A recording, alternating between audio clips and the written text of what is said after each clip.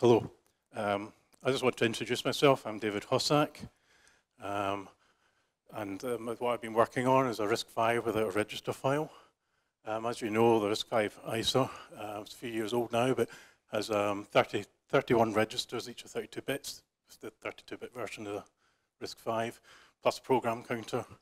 So in total, that's 128 bytes of state, um, which, you know, um, to some people might seem like a lot, I mean, like, um, you know, if you're thinking in the past. Um, so taking inspiration from 6502, uh, which has this concept of zero page memory, um, which could be um, the, the, first 256 bytes of, of addressable memory um, had shortened instructions that you could use to access them. Effectively, they're kind of like registers, and that was designed that way, intended to be that way. so my idea is just to combine those two concepts, RISC-V plus that, um, by taking the register file and taking it out, memory mapping it basically. Um, so to do that, I've um, written a purely combinatorial logic um, version of the RISC-V. That was a lot of fun, it worked, it's easy. Um, just factor out all the state. Uh, got that running with um, the formal, RISC-V formal. Uh, that's great.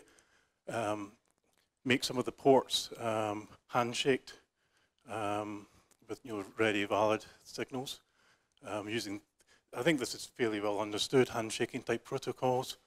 Um, it helps you isolate um, um, you know, the state and functionality between blocks. It's good for composability.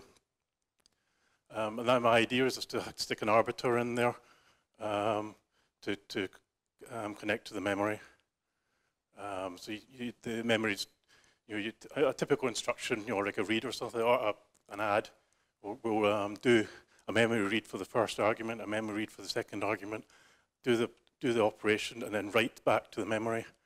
Um, so it's quite memory intensive. Um, it's going back in time. Um,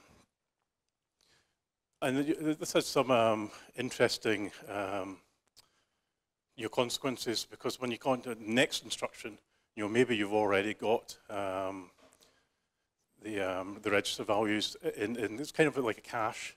So you're effectively having a tiny cache of two or three um, register values. Um, so you can actually save some of those memory accesses. Um, and anyway, that's what I'm, I'm um, doing. Um, my, my real goal was actually the methodology behind this rather than the end product.